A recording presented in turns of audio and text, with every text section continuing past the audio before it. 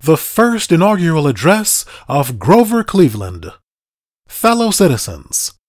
in the presence of this vast assemblage of my countrymen, I am about to supplement and seal by the oath which I shall take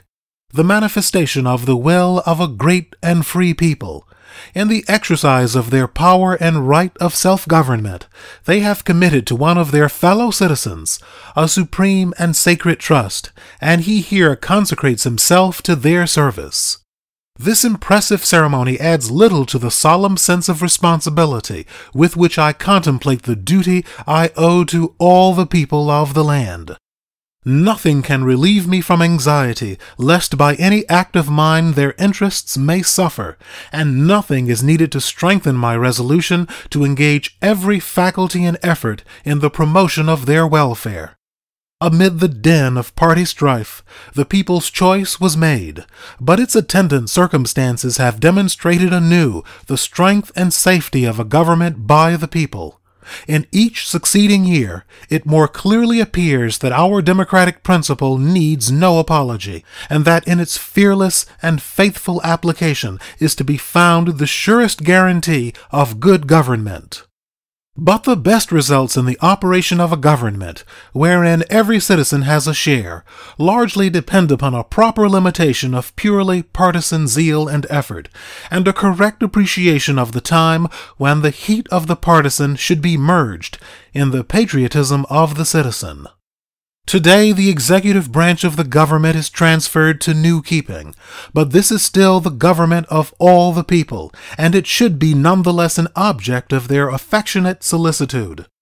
At this hour, the animosities of political strife, the bitterness of partisan defeat, and the exultation of partisan triumph should be supplanted by an ungrudging acquiescence in the popular will and a sober, conscientious concern for the general weal. Moreover, if from this hour we cheerfully and honestly abandon all sectional prejudice and distrust, and determine with manly confidence in one another to work out harmoniously the achievements of our national destiny, we shall deserve to realize all the benefits which our happy form of government can bestow. On this auspicious occasion, we may well renew the pledge of our devotion to the Constitution, which, launched by the founders of the Republic, and consecrated by their prayers and patriotic devotion, has for almost a century borne the hopes and the aspirations of a great people through prosperity and peace, and through the shock of foreign conflicts and the perils of domestic strife and vicissitudes. By the father of his country, our Constitution was commended for adoption as the result of a spirit of amity and mutual concession. In that same spirit, it should be administered in order to promote the lasting welfare of the country and to secure the full measure of its priceless benefits to us and to those who will succeed to the blessings of our national life. The large variety of diverse and competing interests subject to federal control, persistently seeking the recognition of their claims, need give us no fear that the greatest good to the greatest number will fail to be accomplished if in the halls of national legislation that spirit of amity and mutual concession shall prevail in which the Constitution had its birth. If this involves the surrender or postponement of private interests and the abandonment of local advantages, compensation will be found in the assurance that the common interest is subserved and the general welfare advanced. In the discharge of my official duty, I shall endeavor to be guided by a just and unstrained construction of the Constitution, a careful observance of the distinction between the powers granted to the federal government and those reserved to the states or to the people, and by a cautious appreciation of those functions which by the Constitution and laws have been especially assigned to the executive branch of the government. But he who takes the oath today to preserve, protect, and defend the Constitution of the United States only assumes the solemn obligation which every patriotic citizen, on the farm, in the workshop, in the busy marts of trade, and everywhere should share with him The Constitution which prescribes his oath, my countrymen, is yours. The government you have chosen him to administer for a time is yours. The suffrage which executes the will of free men is yours. The laws and the entire scheme of our civil rule, from the town meeting to the state capitals and the national capital, is yours, your every voter, as surely as your chief magistrate, under the same high sanction, though in a different sphere, exercises a public trust. Nor is this all. Every citizen owes to the country a vigilant watch and close scrutiny of its public servants, and a fair and reasonable estimate of their fidelity and usefulness. Thus is the people's will impressed upon the whole framework of our civil polity, municipal, state, and federal, and this is the price of our liberty and the inspiration of our faith in the Republic. It is the duty of those serving the people in public place to closely limit public expenditures to the actual needs of the government economically administered, because this bounds the right of the government to exact tribute from the earnings of labor or the property of the citizen, and because public extravagance begets extravagance among the people. We should never be ashamed of the simplicity and prudential economies which are best suited to the operation of a republican form of government and most compatible with the mission of the American people.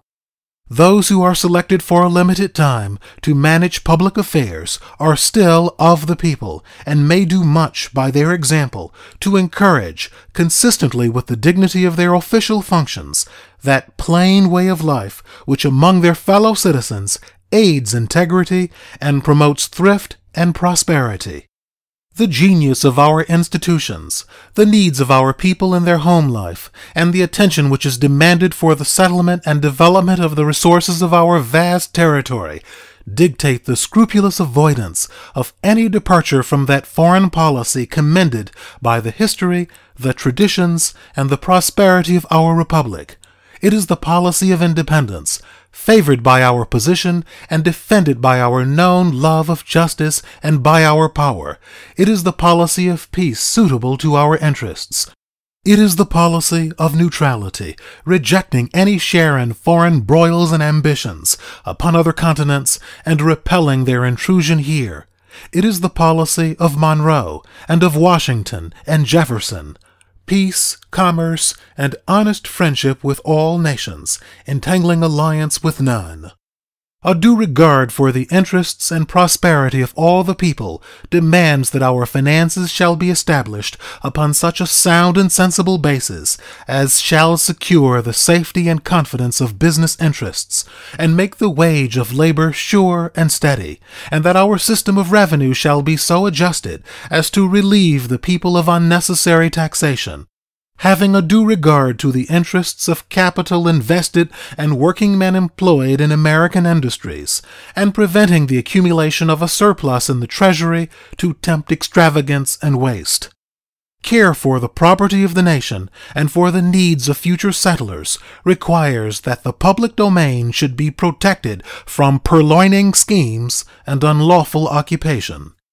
The conscience of the people demands that the Indians within our boundaries shall be fairly and honestly treated as wards of the government, and their education and civilization promoted with a view to their ultimate citizenship, and that polygamy in the territories, destructive of the family relation and offensive to the moral sense of the civilized world, shall be repressed the laws should be rigidly enforced which prohibit the emigration of a servile class to compete with American labor, with no intention of acquiring citizenship and bringing with them and retaining habits and customs repugnant to our civilization. The people demand reform in the administration of the government and the application of business principles to public affairs. As a means to this end, civil service reform should be in good faith enforced our citizens have the right to protection from the incompetency of public employees who hold their places solely as the reward of partisan service, and from the corrupting influence of those who promise and the vicious methods of those who expect such rewards. And those who worthily seek public employment have the right to insist that merit and competency shall be recognized instead of party subserviency or the surrender of honest political belief. In the administration of a government pledged to do equal and exact justice to all men, there should be no pretext for anxiety touching the protection of the freedmen in their rights, or their security in the enjoyment of their privileges under the Constitution and its amendments all discussion as to their fitness for the place accorded to them as American citizens is idle and unprofitable, except as it suggests the necessity for their improvement. The fact that they are citizens entitles them to all the rights due to that relation, and charges them with all its duties, obligations, and responsibilities. These topics, and the constant and ever varying wants of an active and enterprising population, may well receive the attention and the patriotic endeavor of all who make and execute the federal law. Our duties are practical and call for industrious application, an intelligent perception of the claims of public office, and above all, a firm determination, by united action, to secure to all the people of the land the full benefits of the best form of government ever vouchsafed to man. And let us not trust to human effort alone, but humbly acknowledging the power and goodness of Almighty God, who presides over the destiny of nations, and who has, at all times, been revealed in our country's history, let us invoke his aid and his blessings upon our labors.